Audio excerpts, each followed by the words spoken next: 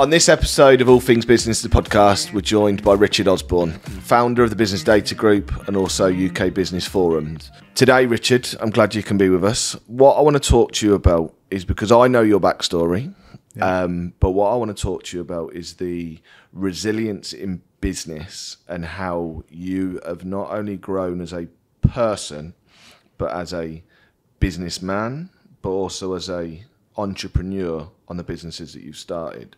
I've read through and we've spoken in the past about the challenges that you have faced, whether they be people problems, economical problems, growth problems. For business, for people that are looking at starting a business today, the negativity that they're going to get told, what would be the, the, the biggest piece of advice that you would tell somebody to look at before starting a business? I'm going to spin that on its head okay. because I think there's a problem where there's a lot of publicity out there from so many different sources that are very pro start your business, go for it. You know, anybody. Um, there was uh, some marketing done a little while back. There's an entrepreneur in everybody. Yep. And I think that's a problem because it paints this picture, especially when you look on TV and you see your Dragon's Den, your apprentice programs and things, and other reality shows that encourage people to quit their jobs and start a business. And there's n- very little out there that actually does paint the real picture of how difficult and how shit it can be. Yeah. You've got um, you've got issues where literally you need somebody somebody who's leaves a job and starts a business they are more than likely experts in their skill set that they do. But there is no training in every other aspect of running a business. And what most people do is they'll just start a business doing that thing with no concept of that people aren't going to pay you. If if people can get out of paying you they'll get out of paying you people will always be asking for freebies or do this for some exposure and I'll you know I'll tell my mates tell my contacts about it. Yeah. The um, you've got your mortgage all your um, your bills and everything to pay or in my situation you've suddenly got a newborn baby that you've got to um, make sure it doesn't get the house taken away. These sort of things go are going on which when you are in a job and you're doing your skill you have no concept that all this other stuff's going on so I, I think the problem is actually that people don't get told about how difficult it actually really is. Yeah. And the reality is, is not everybody's cut out to actually run a business. There's people think they are, yeah. but they're not. No, I agree completely with you on that. Um, I looked at something and read something similar the other day on um, that there's an entrepreneur in everyone. Hmm. Personally, I don't think that there is myself. I'm not cut out to run my own business. I like working in a business, and that's what I enjoy. Do you think there is an entrepreneur in everyone? It depends on your definition of entrepreneur, and we know we all have wonderful yeah, phrases yeah. of that overused word. There, it, skills can be taught. So somebody can be taught to run a business, but there's this little like barrier, this little next step to be what my definition of an entrepreneur is uh, where it you're like you're in a boxing ring, and it doesn't matter how many times you get punched, you're getting back up. Yeah. The uh, my belief is that when you're looking at the, an entrepreneur and everybody, people aren't born entrepreneurs. They don't live their life, go through school or whatever. They they just go willingly going along their life, doing whatever their life is, and then something humongous, potentially catastrophic or life changing happens. Yep and when that happens, that person becomes what some may define as an entrepreneur. Because whatever it might be, they need to change the environment around them. They need to secure something. That'd be different for everybody.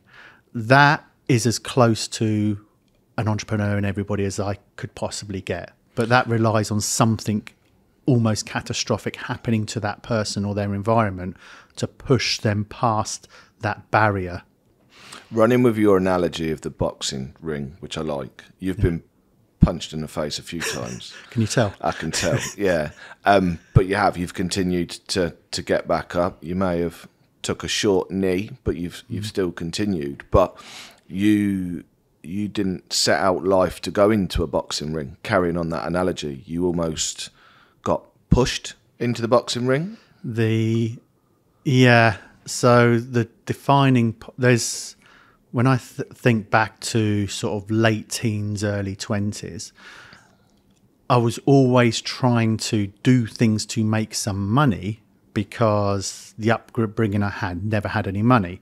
So you're always having bailiffs, loan sharks, and th- uh, people like that turning up at your door, or things being taken away. Uh, so I was always trying to earn some money, but I wouldn't. But uh, there was no. I wasn't going to that next stage. The push came from. There's no other way, but literally a breakdown. So an environment was going on which whole longer conversation um, in my family life uh, that was impacting so much that everything was collapsing around me, and uh, my career I had was falling apart, and so I did the most logical thing that somebody in the middle of a breakdown can do, and uh, just start a business. Yep. And um, that's that was my life changing moment. But at that point, I wasn't. I didn't have the skills in business, so I was that technical person that figured I could run a company. Um, the problem I had is I'd given up a well-paid job with ev- everything that it had with it, and had no, you know, I had to find income, and I had a mortgage, and I just got married. Didn't have kids at that point, and um, I was learning on the fly. and that came later, which we'll touch on in a moment. But everything that you've learned since that day, you'd still make exactly the same decision today if you had your time again. The, Because you think that's moulded your career business path? there's times I look back and think if I had the knowledge I had now, then I would have made different decisions. Uh, but and there is times in my past over the I've been self-employed for more than 20 years now so in the past sort of 24 25 years I've sat there and thought oh, yeah that was a bad call that was a bad call but the reality is it's going to sound very spiritual but everything that's happened has got me to where I am now Yep. and although there's things that are not great, I'm happy where I am now. So it's like the sort of butterfly effect. If you go back and change something, does that mean that things would be different now? And actually, does that mean that I wouldn't want, um, you know, my daughter's just making a, a next step in her own business. If I changed things 10 years ago, would that mean she wouldn't be doing these things now? Because I'm well chuffed of what she's doing now.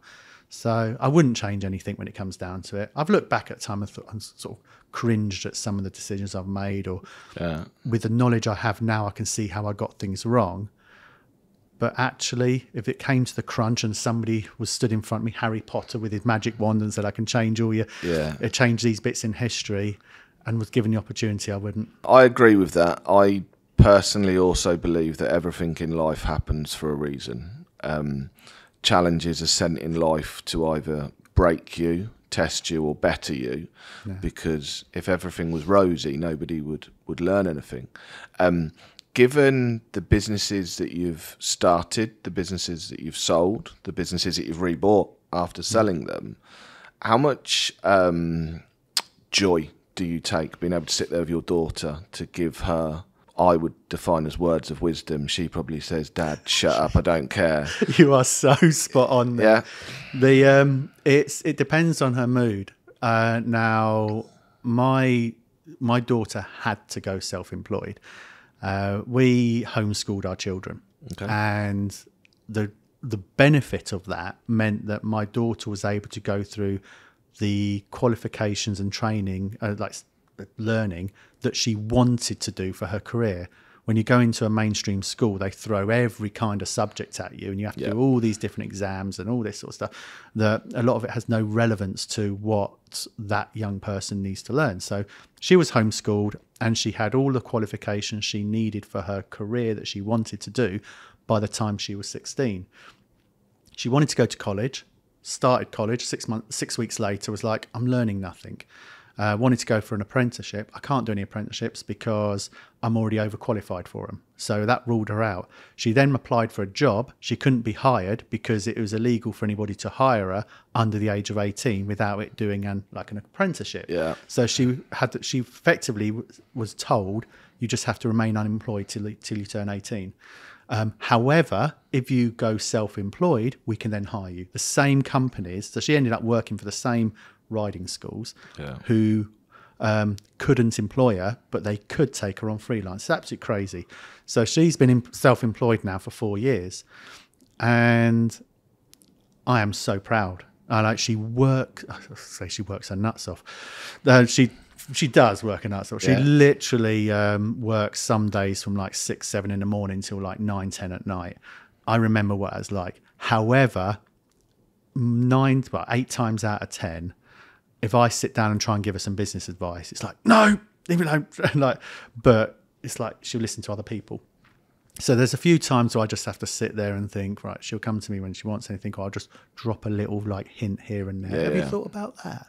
Or um, actually, that's a pretty good idea you're doing then. If you add that bit on, it'll like work like But that. you've got that relationship where she, if she needs you, she'll come to you and say, "Dad, Yeah. what do you think to this?" She's just taken on a quite a substantial lease on a property now, and um, she's identifies that that that's a big step in her business, and she's full on like, Dad, I need to sit down. Could you go through this? And we're working out, her, you know, her pricing and her marketing and things. And at this moment in time, she is full on absorbing, Dad, anything you can tell me. Um, nice. Take it while you can. Take it while I can. Yeah, yeah, absolutely. Um, her passion for horses that come from you, or does that come from mum? No, I'm pretty sure you're you're a motorbike man. I'm right? a motorbike man. I prefer my horses to be about 1,000 of them on Yeah, yeah, two yeah. wheels. Yeah, yeah. The um, actually thousands would be quite horrendous. I've got that You'd wrong. give it a go though. A go, you, yeah. you would give it a go. The uh, no, although I've got a horse tattoo, but it's um, sh- ever since she was about four or five, she just loved them, and she's always wanted to do this. And there's a spoken word artist who a guy called Suli Breaks, who's a brilliant guy. If you ever listen to any of his stuff, and he did some spoken word talking about your plan A, plan B, and what he of what he said, which I stand so true to, is if you're putting time and effort into what's your backup plan, then that means you're expecting or preparing your uh, your main plan to fail. So you're not putting all your effort into your primary plan. When she decided, when she said, "I want to work in equestrian," I was all for just heart and soul into it, everything. You know, don't worry if anything goes wrong. You're young enough to adapt, change, and as you know, I've put my heart and soul into the last 20 years to build a environment where my children can feel secure, um, so that I'll always be here to catch them. Well, I say me, it's my wife as well. So you know, mum and dad will always be here to catch you if anything doesn't work out. So just go all guns at what you want, 100 miles an hour. and a bit of that stems from you didn't have that when you were growing up or going into business. You didn't have that safety net or support. Oh no, no. The um, you know, flashback. You know, I've we've as a child, I remember coming home from school and all our furniture's out on the road, literally, where bailiffs have come in and kicked us out several times. That's happened. The um, moved so many. I can't remember how many times we moved around the country. Always on the move. The um, right down. We've lived in static caravans. We've lived in women's hostel. We've lived in um, people who have put us up on their settees and floors. So I always my why to answer preempt a question. Yeah, yeah, it was just coming. It was, it was just So coming. my why i- it wasn't like why I started going self-employed. That was just falling into it because I had no clue what to do. Yeah. But ever since my daughter was born and now son as well, my why is to make sure that they have a home and that home is okay now I'm getting emotional. Um the that why is get my words out in a minute, just that they will always have a home. Yeah. Eh, no, I, I, I, I wasn't looking for a reaction because I, I find it massively important what people's why is, not why do they work in the industry that they work in, why did they start their business. It's why do you get up in the morning and why do you do what you do, and that could be work, your personal reaction, and everything. And no matter how bad your day is going, Yeah. it won't be as bad as what you're trying to stop. So um, yeah, credit credit and applause to you on that. So fast forward, everything that you've learned in business has brought you to where you are today. We've got business data group, and we've also got. Um, I'm going to go with your your your baby, your new baby. Uh, well, no, I say new baby. It's not a new baby. Um, UKBF, UK Yeah. Business Forums. Um, that is growing at an incredibly fast pace. Um, we spoke just before we came on that I used an, a, another analogy of, to me, UK Business Forums seems as a platform similar to what helped you when you first started. That you surrounded yourself with knowledgeable people. That if you didn't know the answer to something, you could go and ask them. And with UK Business Forum, there's there's how many members now? The well, we've just made an acquisition of another community Okay. um, last month, and we're bringing them two together. Combined, that's a half a million pounds, half a million members. Half a million. Yeah, five hundred thousand, give or take. A couple. I heard half a billion to start with, and, and if this chair was any wobblier, I'd have fallen off. Um, so that's half a million people that I could go on to today because we are members of UK Business Forum and ask for help. Yeah, and put a scenario out there and businesses or the the businessmen, businesswomen that are on there, they genuinely want to help. so when first started, so next year's UKBF, uh, UK Business Forums is 20 years old, and February 2003 is when I started it, and it was started because I'm sat in my kitchen at home, really not, not feeling way out of my depth. Like I'm literally, um, I've started my second business um, with some a, a bank loan and three credit cards. I've got no money coming in. I've got a six month old daughter, and I'm not telling the wife like how stressed I am because she's trying to look after our daughter, and when the phone rings, trying to keep a crying baby away, and it, it was just a really tense environment.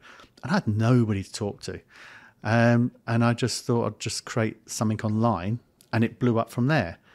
Jump forward nearly twenty years, Yeah. and it's exactly the same and people are still in those same situations nothing's changed in 20 years for people who are 20 years younger than i am now still you know millennials i think um, generation z is if i get the Gen terminology Z, gen z and um, millennials starting up businesses in the exact same fret that um, that i was feeling but the difference now is the community and the environment, you know, this platform is 20 years older. So you've got people now, um, what, Generation X, Gen X, um, boomers, as my son likes to call it. further, further down the alphabet. the uh, but the so you've got people who are 20 years wiser uh, and more. So we've had people like he's not around now but like the managing director of commodore um, the c- computer manufacturer from when i was a youngster on there sharing knowledge and advice. There's um, there's investors there's uh, re- people retired. So they've got all this um, experience um, sharing knowledge and just helping. It's, you get a buzz, you get a warm feeling about helping younger generation come through. So UK Business Forums has matured beyond what it was. When it started before, it's a lot of people in similar boats and we just all mucked in together. We helped each other out.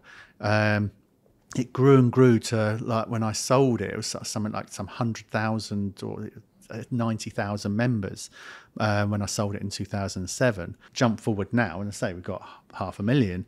The but the problems that people were facing twenty years ago, ironically, haven't changed. And I think that's a statement in itself. There's Yeah, yeah. problems there, and that's what I hope UK Business Forums can be a part of fixing. One thing for me, UKBF has restored my faith in social media slash the internet.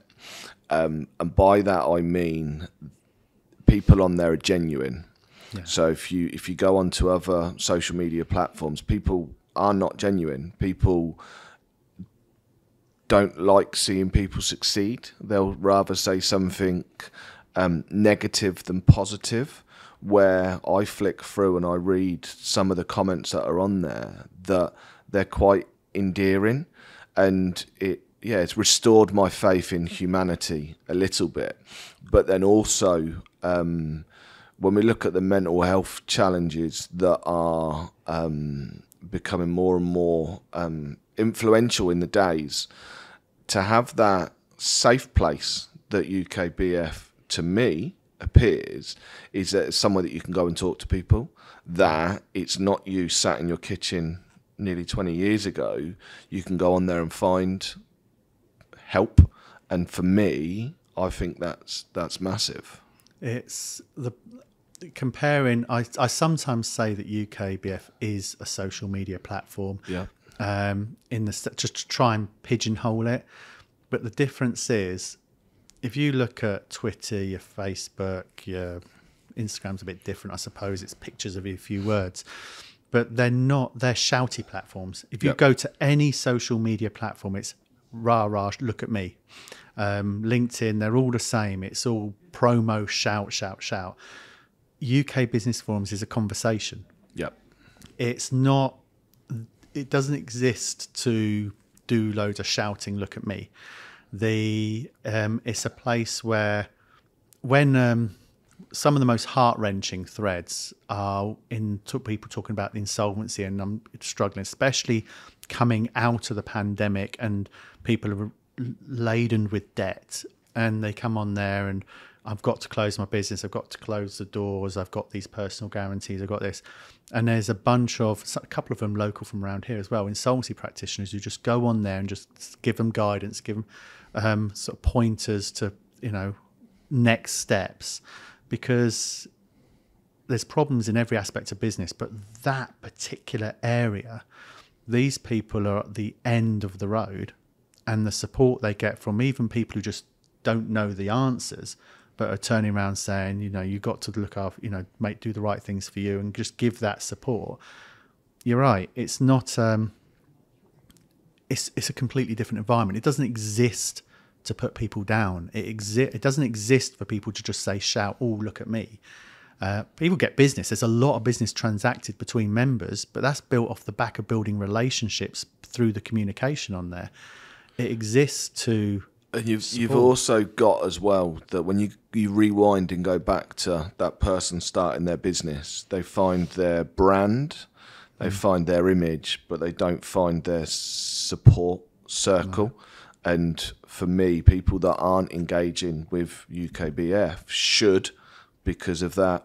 And I suppose the biggest word out of it is community. Um, we'll come to a close shortly, but in a in a nutshell, for people looking at starting a business, Yeah.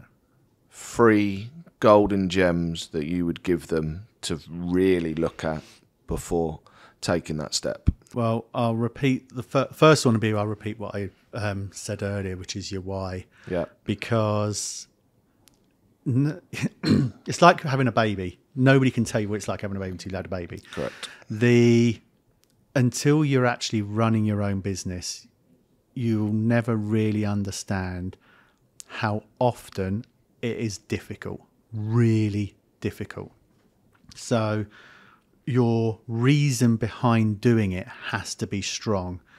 When you when you've got a job and you think I don't want to go into work today, you um, you find an excuse. You got a headache or whatever, and you don't go in Yeah, the um, when it's your business. Uh, because if you've got a job you're still going to get paid generally. If it's your business you don't go in you don't get paid. You don't have holidays you don't have sick days. Um, if you're tired tough shit you still got to go in and do it. If you've got a headache tough shit. Feeling sick tough shit. It literally is there is no stop.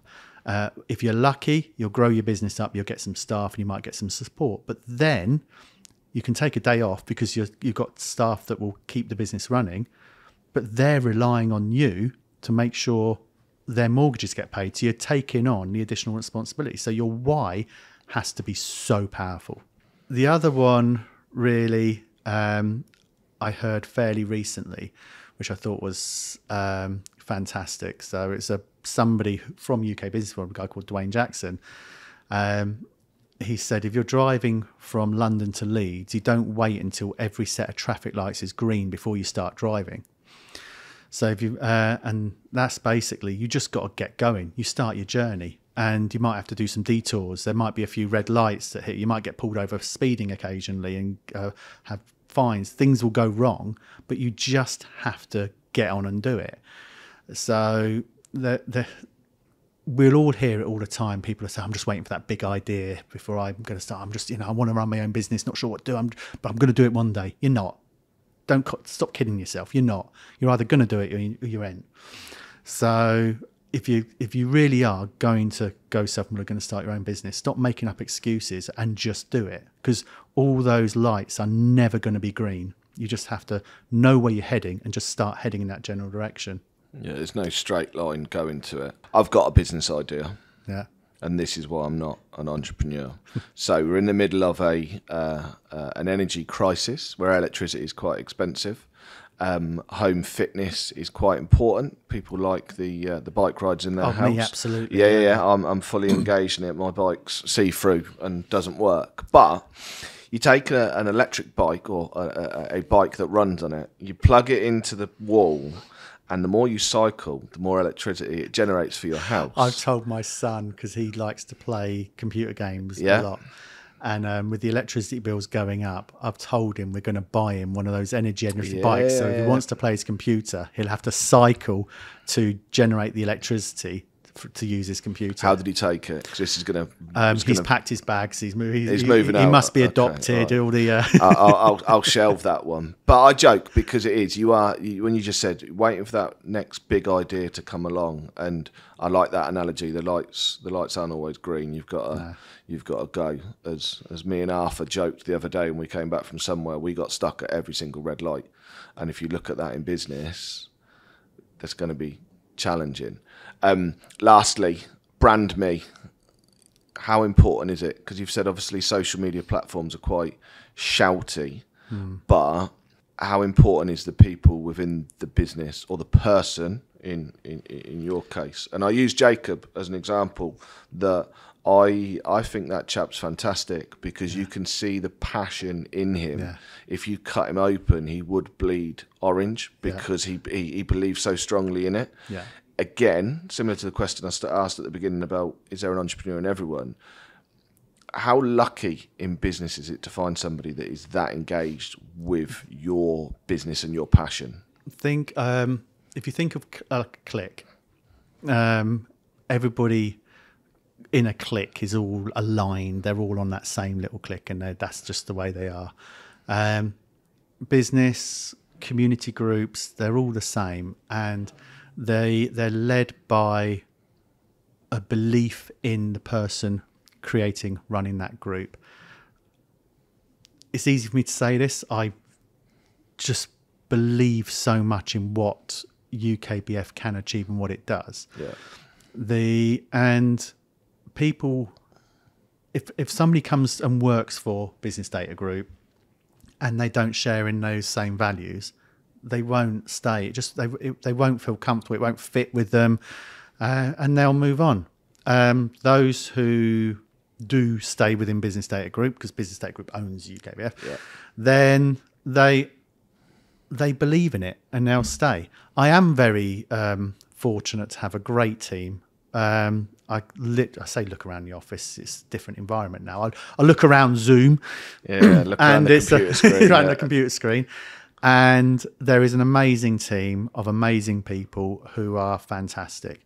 I have had uh, staff over the over the years who just haven't um, gelled, and they've just not stayed. You don't have to get rid of them. They just people are attracted to people that they believe in and share the same values on, and I have a vision. I can't think of another word.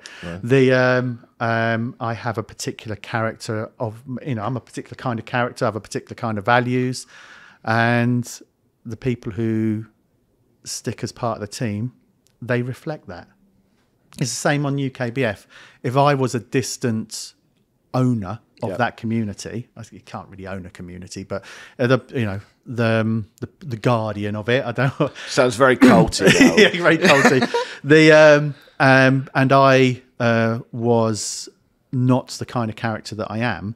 Then, if I was a toxic kind of character, Yeah. um, then that would filter through into the community that that I'm the steward of. So you're leading by example. And everybody has to do that in any business. If we're talking about business, anybody who works in a business are inspired or uninspired by the business leader, and Correct. they their behaviour, the way they are, the way they work, their dedication to the business, all of that stems from how the leader behaves. Uh, you, you can compare different businesses. You could look at the leader of that business and see how that person behaves, how they lead their life. And then without even having to walk into that office, you can make a fairly good judgment of what the atmosphere is going to be like within that organization, how people are going to behave, whether they're going to be like, oh, God, get, get out of here on five o'clock on the dot. Um, I'm not condoning like slave labor and like putting people. No, it's like people but- that run out the door at but you mentioned Jacob and cut him and he bleeds longer. orange. Yeah, yeah. If I had no desire or passion for UKBF, how could I ever expect any of the team to either? so you're a shepherd, not a sheep. You- Yeah. Yeah, which is one of the analogies we use here that you've got to lead by example. Um, I've really enjoyed this, Richard. I think hopefully Likewise. everybody listening has um, really got a feel for you as a person, what drives you, what gets you out of bed in the morning, and also learn more about UKBF and um, the Business Data Group. We can If tell pe- by the likes and dislikes on the YouTube video. We'll, we'll find that out shortly. If people want to find out more about UKBF, where can they where can they find you? UKBF.co.uk. Yeah, and do you use any of the shouty social media? We do use all the Or do you shouty, them to shouty. come straight to the website? Um, I mean, the website will lead them um, wherever, um, you know, like have links through, but UK Biz Forums is consistent across all the social media platforms from TikTok, yeah, cringe. They'll see some funny stuff on there. Um, YouTube, Twitter, Facebook. It's literally UK Biz Forums. Beautiful. Well, brilliant. Thank you. Hopefully, everyone's enjoyed listening slash watching our podcast, and we'll hopefully we'll see you all soon with some new content.